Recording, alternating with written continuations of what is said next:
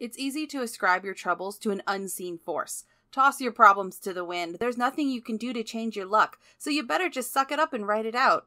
It's even easier to say that it's because of bad luck brought on by something you did, and it can be remedied through mystical means. It's not just a part of life. You did something. You need to rectify it. No need to just write it out until it ends. Here's a convoluted placebo. This week, Mary Anne and the BSC are having a run of bad luck. Guess which route they take. If they take the former, this will be a very short review. Let's get to it. This is Rereading My Childhood, The Babysitter's Club number 17, Mary Anne's Bad Luck Mystery. The BSC, well, the BSC minus Mallory, Jessi, and Shannon, are eating lunch. The group includes Logan, who, if you forgot, is Mary Anne's boyfriend. They don't waste any time, and Mary Anne dives right into the long descriptions of each member. When she gets to Claudia, we get a great outfit description. It was her vegetable blouse, an oversized white shirt with a green vegetable print all over it cabbages and squashes and turnips and stuff.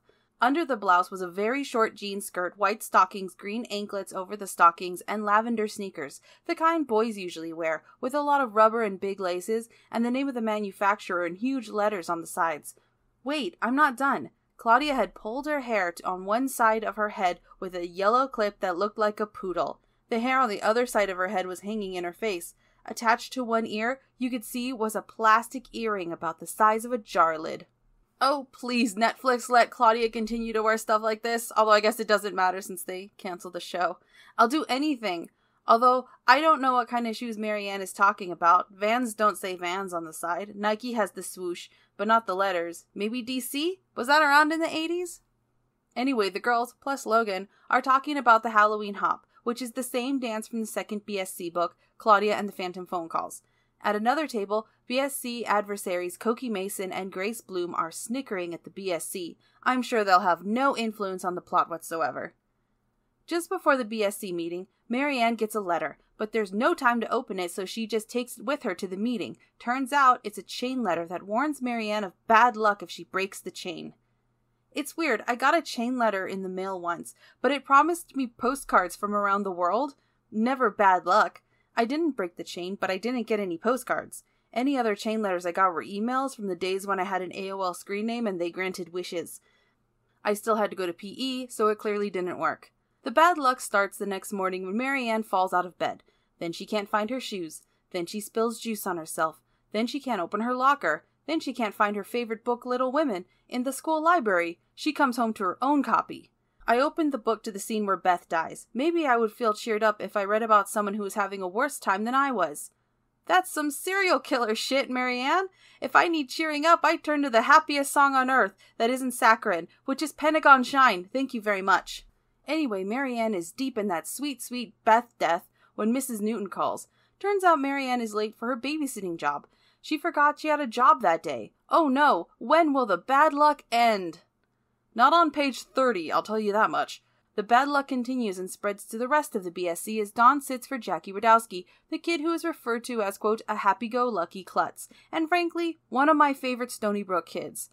Dawn and Jackie are trying to make him a costume, and in the process, Jackie knocks over stuff on every page of the book.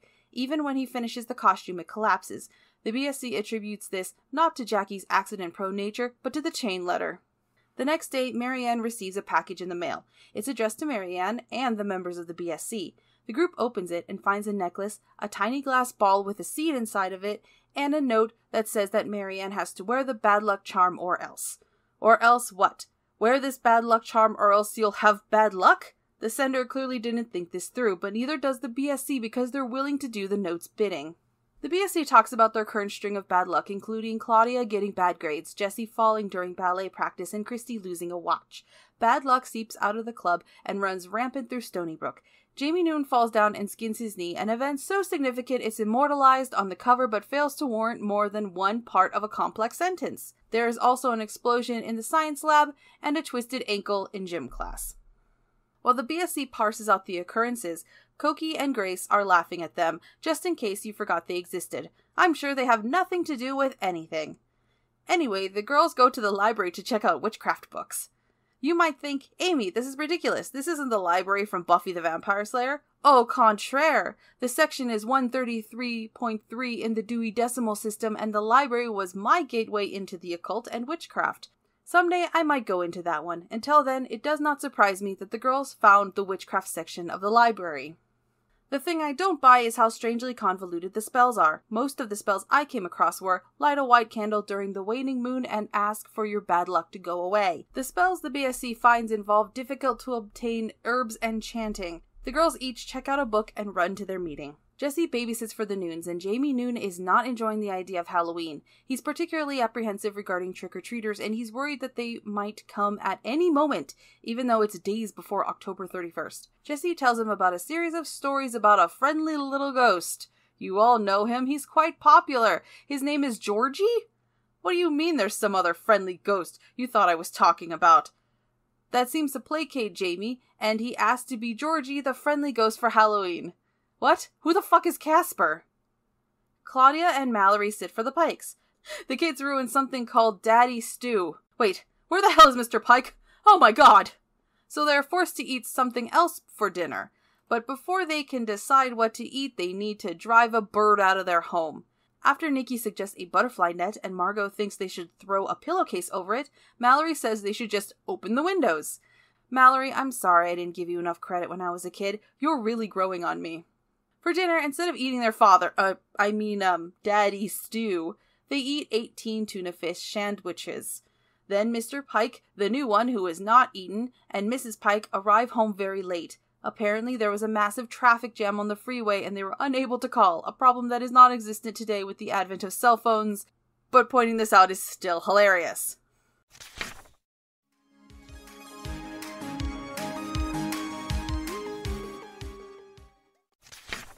Kristy calls an emergency BSC meeting, also known as hanging out in Claudia's room outside the usual time. They try to figure out how to counteract the bad luck, and Jessi finds a spell that includes a white rose, a book of sorcery, and two months. The discussion is interrupted by a storm, but that doesn't stop them from reading a spell that involves oxtail hairs and scrapings from the underside of a sea snake they eventually dive into evil power masters and a bunch of other authory made up nonsense that is not any spellbook I've ever seen at the library. They also wonder who could have sent the charm. Gosh, girls, it's definitely not the two girls who have a grudge against Mary Anne specifically and keep snickering at the BSC. The Halloween hop is finally here, and Mary Anne dresses up as a cat from the horror musical Cats. Specifically, she dresses in a leotard, a pair of slippers, and she paints black and gray stripes across her face. She's either Grizabella or Munkustrap.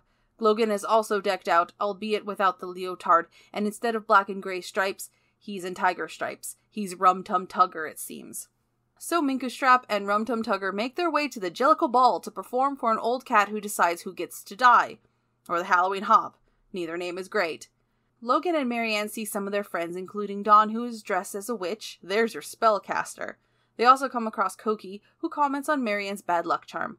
When Mary Anne gets home, there's another letter for her. It beckons the BSC to go to Old Man Hickory's headstone at midnight on Halloween. Too spooky! The BSC have yet another emergency meeting. Jessi asks about Old Hickory. Apparently, he's an old man who died of meanness. If only that could happen. Then people would stop being so terrible to retail workers, the true de escalating heroes of our time. They realize that it's a trap, and we're at page 100, and they have to wrap this up. The plan for the night starts with Charlie driving them to the cemetery earlier than midnight as indicated in the letter. Before the shenanigans can begin, Kristy has to take David, Michael, Karen, and Andrew trick or treating. In a relic from the past, Kristy has to make sure that Andrew doesn't want to wear his mask. I remember extensive PSAs warning parents not to let their kids wear masks because they obscure their vision. The 80s were a different time. While that's going on, Mary Anne shows her father the bad luck charm. He says that it's not a bad luck charm, but some religious thing. It's a mustard seed that somehow symbolizes faith. Look, this is all beyond me. I was raised secular. The most exposure I had to religion was if I spent the night at a friend's house and the next morning I was forced to wake up and listen to some guy talk for a few hours in a stuffy room. I didn't learn anything about the Bible or Jesus. What I learned is that I shouldn't sleep over at that friend's house on a Saturday. So the BSC brings various items to the cemetery a few flashlights, masks, string, sheets. Sounds like they're going to a Klan rally, or as I like to call it, the policeman's ball. Hiyo! They string the sheets up, and when Cokie Mason and her friends arrive, they make the sheets look like ghosts. This freaks out Cokie and the others just in time for Logan to show up and see them. Grace expounds on their brilliant plan. Oh, we might as well tell them. She said them as if she were referring to a swarm of flies. We just wanted to make you, all of you, but especially Mary Anne, look like, well, like jerks. We kind of wanted Logan to get fed up with you. Grace's voice was fading away. It was hard to tell in the darkness, but I think she was blushing. Cool plan? As if Logan would be all, Oh man, Mary Anne, I really liked you until I saw you get spooked. I can't be with a girl who has human feelings. I don't think very highly of Logan, especially since his you're not like other girls comment, but I don't think he'd do that. Cokie and her friends leave with their tails between their legs, and the BSC continues their Halloween sleepover. In the end, they realize that their string of bad luck was really a coincidence. Also, while we learn who sent the necklace and the threats, we never found out who sent Mary Anne the chain letter at the beginning. How's that for a final scare? Take that, R.L. Stine! I remember being obsessed with luck when I was a kid. Truthfully, I'm still superstitious. Compound that with my tendency toward obsessive compulsive behaviors, and it can be quite debilitating. However, that discussion is for another day, and not at the end of a book in which the main character dresses up as a cat and wears a seed around her neck. The lesson is don't listen to random letters in the mail, and the ones teasing you from another lunch table are probably the ones instigating the events of the plot. And just because you get sent jewelry in the mail doesn't mean you have to wear it. This is advice for everyone.